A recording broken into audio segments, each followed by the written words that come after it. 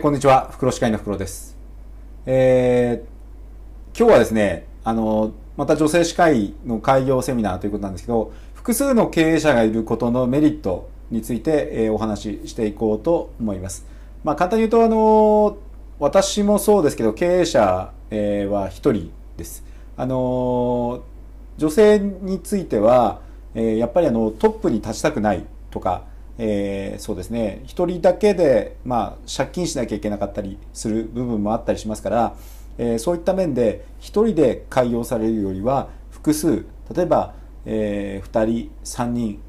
あの私は4人って言ってるんですけど、まあ、そういった形の、えー、複数での開業っていうのが、え、いいんじゃないかというふうに思っています。あの複数の経営者がいることで、えー、自分が全て矢面に立つことがなくなるということですね、えー、責任分担をすることができる。女性やはりあの苦手なところが責任を取りたくないっていう部分ですのでそういった面ではあの複数の方がいらっしゃれば、えー、まあ共同的に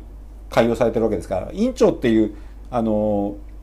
簡単な、まあ、その場でのあれは決まってるかもしれませんけど、あのそうでない部分っていうのには複数の経営者が当たるっていうことであれば、えー、かなりその辺のリスクが軽減できるのではないか。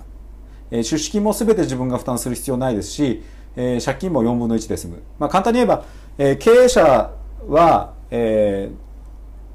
ある程度のお金を、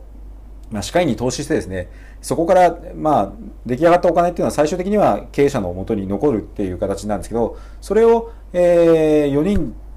とか、まあ、複数ですので2人からですけど、えそういった形の複数の人間のところで割ることができ、割るっていう、まあ、あのー、大きく儲けることはできないかもしれませんですけど、それでも、えー、経営者利益っていうのは別途に通常あるものですから、まあ、そこのところが分割ができるというふうに思います。えー、借金も4分の1で、まあ、最小は済みますよね。えー、必ず返済が楽になると思います。えー、サボるの行動を、えー、他の、えー、共同経営者が、えー、防御していきますので、えー、まあ、あのー、利益を得て、えー、自分がサボれば、まあ、結局、あの他の人に迷惑がかかりますし他の人も、えこいつサボってるなっていうところのところのチェックが入りますので、え通常の経営者は1人でやってるのよりよっぽど、えこの辺のところが、えきつくなるし、えより借金の返済等は早く私は終わるんではないかなというふうに思います。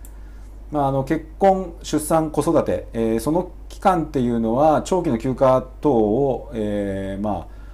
必要になります、えー、自分の大学を自分の経営者給料の中から支払うあるいは決済することで長期の休暇が取れるようにしたらどうでしょうか。あのこの辺はルールが必要だと思うんですけどそうなれば、まあえー、自分で、まあ、その休みを買うというような形になりますので学会に行ってもいいですし長期休暇でバケーションに行ってもいいでしょうし、えー、通常の歯医者さんよりは、えー、この辺のところの休みが取りやすいというふうに私は思います。つまり複数経営者の委員経営を行うことのメリットとしては休みが自由に取れる、えー、自分だけが委員経営の最前線で頑張ることなくお金も自然に溜まっていく、